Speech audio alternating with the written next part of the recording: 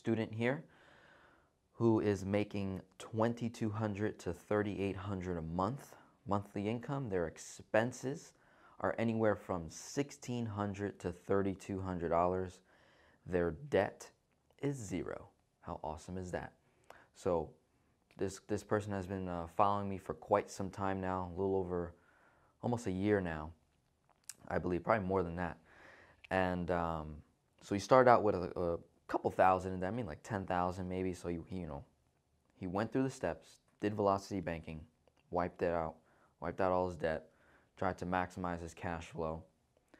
We have a secured personal line of credit for 3000 and he also has a nice savings built up 20 to 30k i believe he's at 30k right now but i last time i checked i'm uh, in my notes one said 20 and another piece of notes said 30k so between 20 and 30000 27 year old male okay and now we're stepping into phase two we are structuring a policy for him to fund to get started with. So we're pretty excited. This is a year works, you know, in the making. So he's finally at that second step where we step into the infinite banking concept. So we're going to just dive into some numbers and kind of show you exactly some pointers, some things to be aware of, some things to, you know, caution as we're designing this policy here. So for a 27 year old male, he decided that he wants to start off, meaning your initial funding period, $7,000. Okay, so we're telling the insurance company, and by the way, we're using, we're using Guardian as our life insurance company. Okay, so 7,000 is what we're telling Guardian what we have right now today to fund that policy with we set up a premium of $2,500, which means, which means that he wants the ability to put in 25,101. Funding 7,000 is the initial amount of money that we're telling Guardian that we want to put in. 2,500 is the premium, which gives us a MEC limit of 25,101. So that means we have the ability to put up to $25,000 in any given year as we fund this policy, which is why we have that premium of 2500 But you can see a problem, right? Which is if he only puts in 7000 into his policy for the first year, second year, for the third year, if he only puts in $7,000 every year, then this policy has been poorly designed, right? Because the premium's $2,500. That's what, 35% of 7,000, right? So let's take a look at the actual cost of the life insurance policy. So let's let's break this down the fees. So for him putting in 7,000 that gives us a death benefit of $1,075,000. Okay? And of that $1,075,000, the $2,500 buys us whole life insurance, so base policy insurance of 223,690. Okay, so that that 2,500 buys me $223,690. Okay, that's, that's base. And then we have term over here where it says OYT, that stands for one year term life insurance for $341.94. That purchases me, that purchases me $841,310. okay, so we've got $2,500 right off the bat. That gets minus from the 7K. That's not going into the cash value the first year. Then we have the PUA fee, right? This is the paid up addition rider. This is what helps accelerate our cash value growth. So for that, there's a 5% fee, right? So uh, 4,500 from the 7,000, right? 2,500 goes towards premium. The other 4,500 is going towards the PUA. So you just take that times by 5%, you get 225. So my cost, right? In addition to the 2,500, I got that 225. Okay, cool. And then I've got this 341.94 that's also getting minused from the 4,500. So when the 4,500 goes into the PUA, you have to minus the PUA fee and then you minus the OYT, right? Which covers that term life, which builds up the death benefit, which allows me to have a higher MEC limit. So I can actually put more money in.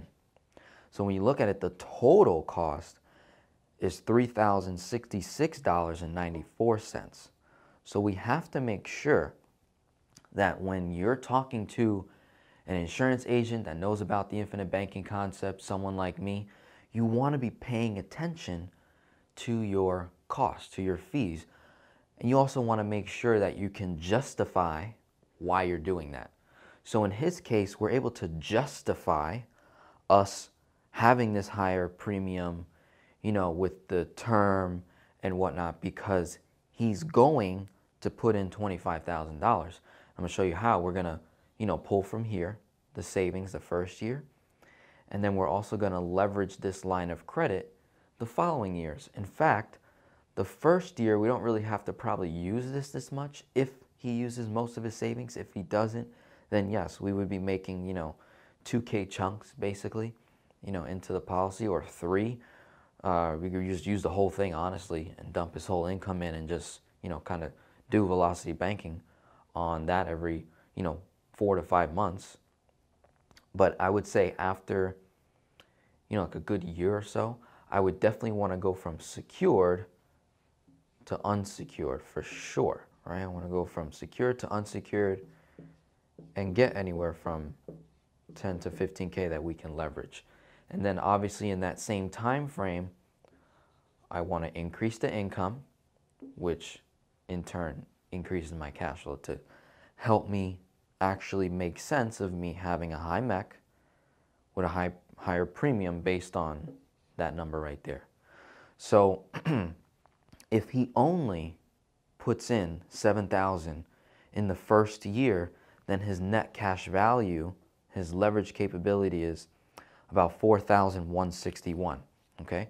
But now you have to take that cash value number and then times it by, let's just say 90%. I believe with Guardian you can take up to like 95, but I'm just gonna be conservative and say 90%.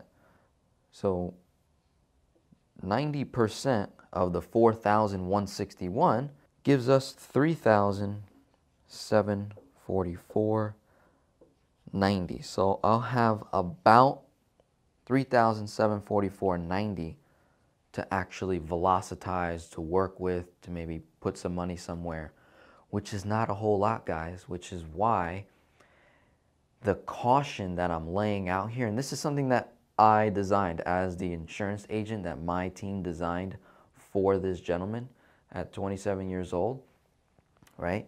So I'm, I'm putting myself on the spot here and saying, you know what?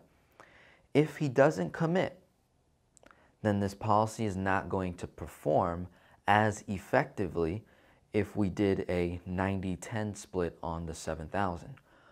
But you have to remember that his goal is to put in 25,000 and we do have savings. So it, we're kind of justifying that. Okay.